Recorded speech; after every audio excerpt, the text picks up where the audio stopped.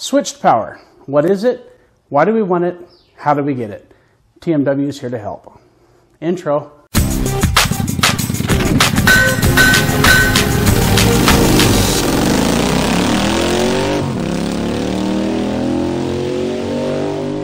So what is switched power? If you're looking at putting electrical accessories on your bike, like a cell phone charger or a chain oiler, GPS, something like that, you've probably heard somebody tell you that you ought to put it on switched power. What does that mean? Well, quite simply, what that means is that the device, or the power source for the device, only comes on when the bike's ignition is on. We want this, I mean, obviously and simply, because otherwise you run the risk of discharging your battery. So that's what it is and why we want it.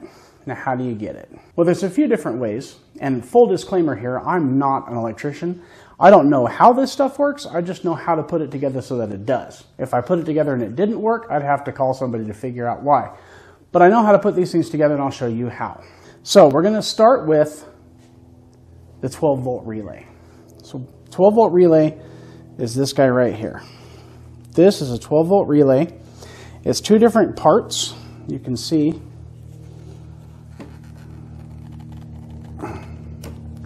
So it comes apart like this. This is the actual relay. This is the wire leads here. And you can see the little wiring diagram on the side of this. It plugs into the leads. And then, of course, this particular model has got a bolt hole on it that you can attach it somewhere for whatever application you're using it for. Um, I like it just because with the flange, I can just tuck it underneath this piece right here and it stays put. My Concours has got this real handy cover that sits right here. Uh, you can see my whole cockpit's taken apart right now. There's supposed to be a cover here and a cover here, and of course the windshield, and then the big plate here that'll hide all of my electrical. We'll talk about that. So this is the relay. And I'll link to this relay on Amazon's site. Um, I do want to say that we're not endorsing any of these products and they're not sponsoring us, anything like that. I just want to try to save you the trouble of having to find the component that you want. If you get the stuff that I have and put it together the way that I show you, it will work the way that I show you how to do it. So that's why we're just going to link to the stuff that I have. There's all kinds of other products that would work, but I'll show you what we're using. So what the relay does, it's a switch. It's like a light switch, except instead of having a little lever to turn up and down, a switch like that. A relay uses another electrical circuit as the switch. So the idea is that you attach the switch of the relay to some other circuit that's already on switched power on your bike. Uh, the best to use, or, or not best, but uh, the, one of the most common ones to use is the license plate illumination lamp.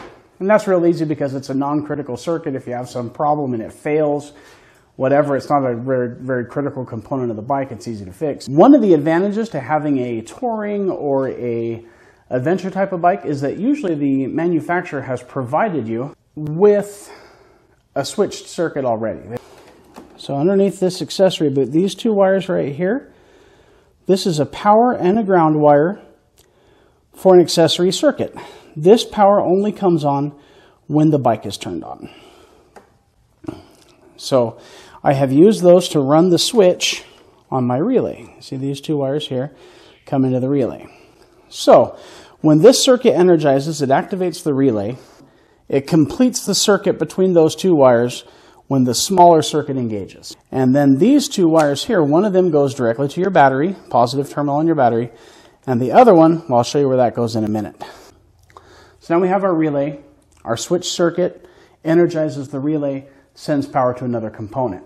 So, depending on your application, that might be all you need. If you're only ever going to attach one accessory to your bike, you could just attach the power wire from your relay to whatever device you were going to energize, and you'd be done. It'll turn on when the key turns on because that's what the relay does. Um, most of us are probably looking at attaching more than one component to our bike, and also you really want fuse protection. That right there. That is our auxiliary fuse box. It's got a cover on it. We'll pop that off. So we have a negative terminal, a positive terminal. This is a negative bus. We'll talk about, or a ground bus. We'll talk about that in a minute. And then we've got six circuits here that we can use with fuses. And this particular block has also got fault indicator lights. So if you have a short somewhere, one of these lights will turn on next to that fuse and show you which one it is. Our power wire coming off of our relay is going to attach here to the positive terminal on this fuse block. Then I'm going to attach another wire from the negative post all the way back to the negative terminal on the battery. It's actually this little guy right here. Ignition turns on, accessory circuit goes live, switches the relay, sends power from the battery, which is going to be this cord right here, sends power from there up to the positive post on the circuit. Then the ground goes back to the battery and everything in here gets connected. Now this has got the negative bus or the ground bus. And what that is is a common ground point for all the accessories that you're going to attach to this, all the wires. So power wire goes here, ground wire goes here, power wire goes here, ground wire goes here, and so on. Now what that does is it gives you a common ground. Gone are the days when you could just pick any bolt that looked like metal attached to metal and assume that it was going to be a good ground. Uh, bikes have got composite frames now. Not the entire frame is uh, conductive material. Uh, rubber bushings and plastic fasteners and all kinds of things can make it so that just any metal bolt is not necessarily a good ground. So you want to have a solid ground that you know goes directly back to the battery and attach your components to that. If your fuse block doesn't have a ground bus on it, then you end up using what's called a power distribution panel. So here's my fuse block on the Versys. It's a different model than the one I'm using. You can see my 12 volt relay here, sort of retained underneath some of the underwork here. Uh, here's the wire going to the battery terminal. Here's the ground. And then this is the power wire for the fuse block. And then I've got a negative that comes back here to the negative ground bus. This is the negative ground bus. You can see it's just a bar. It's got a bunch of screws on it.